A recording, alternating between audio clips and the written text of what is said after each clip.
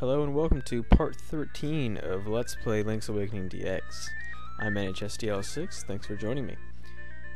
Um, well, much to my dismay, and I was very upset to, to find this out, um, the desync's back. And, like you know, since I can't use save states anymore, I have to keep Visual Boy Advance running at all times. I can't even close the window, because if I close the window and I reload um, a save state, it automatically goes to the glitch menu. So, I've had to resort to keeping the game up full time on my computer, just leave it on the, uh, in the panel on the bottom. So, you know, I thought that the problem was that I had changed one of my settings to 17. Changed it away from 17. Well, that was the problem. I changed it back to 17.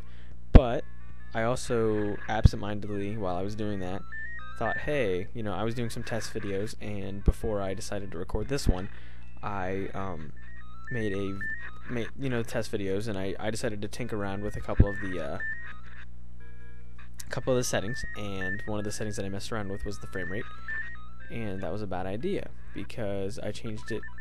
This is I mean, you wouldn't think that this would make any deal. I changed it from 59 to 58, and that has caused the sound to jump ahead of the video, which is very strange because the video plays normally, but then at one point it gradually gets faster and faster and faster to the point where it doesn't line up hardly at all. So I really, really, really do apologize for the fact that the audio decided to be a complete douchebag, and you know and it, and it sucks because you know there's a lot of cool music parts in this video like the Manbo's Mambo part. You know I really like that song. I thought it was pretty cool.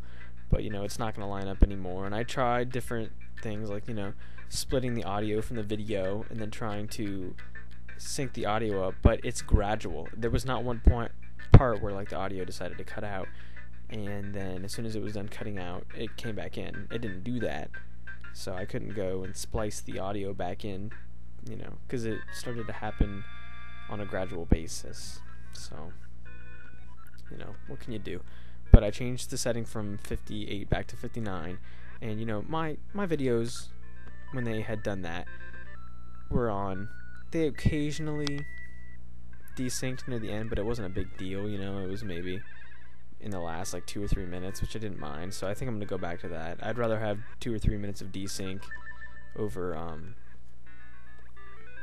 over you know the whole video, which is basically what this one is. It starts to desync almost around a minute and a half, so that's kind of a problem. If any of you have any suggestions, um, I have to use the VBA that I use because I tried to boot up the ROM with the save states that I've been using um, with any other VBA, and it won't let me. It comes with an error, so I have to use the VBA that I'm using, so that's not an option.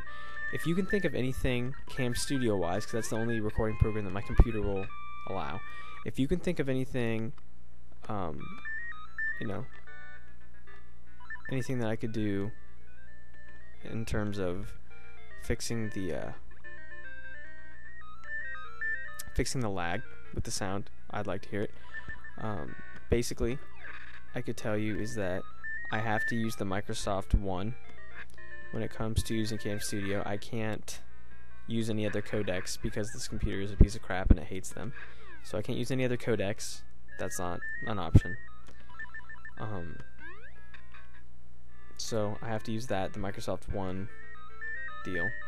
And my settings, if any of you have used um, Cam Studio before, are set to uh, capture a frame every 59 milliseconds. Um, the frame rate is roughly 17, and then the one was like playback was at 59 milli was 59 frames millisecond, right? So if any of you, you know, if if something about that seems fishy to you, or you know, like 59, oh this should be this, or 17, you know, this should be this. If if you know what would be a better option, or whatever your recording process is and it works for you, let me know. I'd like to hear it. So I'm I'm all open to suggestions, whatever it is, you know, because you know my original videos after part two, they weren't really bad. You know, I didn't mind having the desync occasionally near the end of the videos, but you know, if I could make it more precise and make my videos look crisper by having the sound line up perfectly for the whole 10 minutes, you know, uh, that'd be great. So, if any of you have any other information, let me know. I appreciate any suggestions. So, anyway, back to this video to talk about the content. Um, once you finish the Angler's tunnel and you go into the warp, which I should not have done, but if you do go into the warp, you will wind up with this little ghost. He is a lost soul, and he is traveling. He needs somebody to help him find his house. So that's what we're gonna do. We're gonna we're gonna find his house. But first, before I did that, I went to uh, I went back to the Angler's tunnel so that I could get Manbo's Mambo, I believe that's what it's called, on my ocarina, which transports you to the pool of water, um, which is very, very close to the witch's hut. I believe that uh, the pool of water is right outside um, Tracy. Oh yeah, that uh, catfish-looking cre- creature, that is going. That's the fifth dungeon. That's the catfish's maw. We'll be heading there next time. That's where we get a very. That's where we get my favorite item. But anyway, back to uh, the thing. Um, uh, it's the pond is right next to Tracy's, which is where you get the potion, much like the potion that Maple might drop. Um, that's where you get the potion for uh, the potion for if you die, it will restore all your hearts. So it's kind of like a fairy in a bottle from like to the Past. So now that we've got him back to his house, he's gonna check things out for a second, see what's up. Nostalgia unchanged.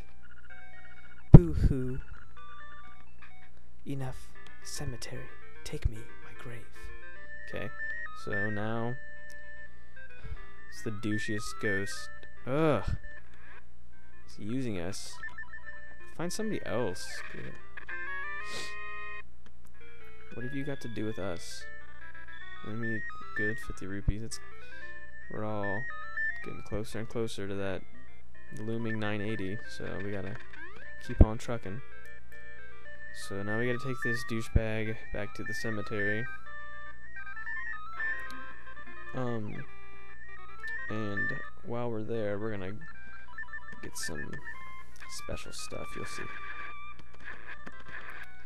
I had to be very careful around here because I was close to dying. But luckily these two goblins gave me hearts, so I was in better shape. So, we're gonna get out of here, head back to the cemetery, and give this ghost proper burial. Thank God, he's driving me insane. Alright, so, now we're gonna chop this down, then we have the flippers, and we get another secret seashell. Um, if I come across these along the way, I will pick them up, but, you know, I'm not gonna go out of my way to find the ones that are in dungeons or, you know, not yet anyway. But okay, these were these were all in the area, and I figured I might as well because I have the flippers now, so I can feel free to do that. So now we have two more. We got four total. We need to have 20 in order to acquire the uh, the item, which is a secret. We're gonna use show you a little example of Manbo's Mambo. Um, as you can as you can see, it took me right outside Tracy's little hut there. Little house. Alright, we're gonna head to the Tabahl Wasteland in order to get back to the cemetery, which is where this crazy ghost is. And I decided to be a fool and head the wrong direction.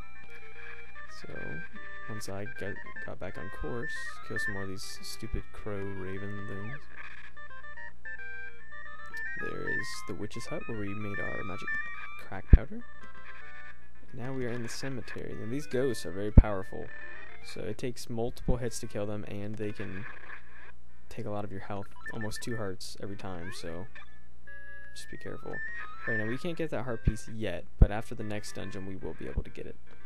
So now we're gonna dodge the octopus thing and the the bat.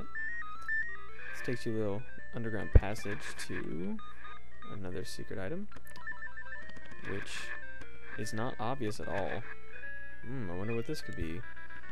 Oh, whoops, wrong spot. There we go. It's our fifth secret seashell. 15 more, and then we will acquire the secret item, which is very helpful for progressing. And there we go. Thank you. A jar in my home. Look inside. Bye bye. And the owl, of course. Hoot. It has been some time since our paths crossed, lad. You must dive into the waters of Martha's Bay to enter the catfish's maw. The closer you get to the windfish, the more restless he sleeps. Carry onward. I'm NHSDL6. Thanks for watching. Thank you. Goodbye now. Goodbye. Goodbye. Thank you. Goodbye.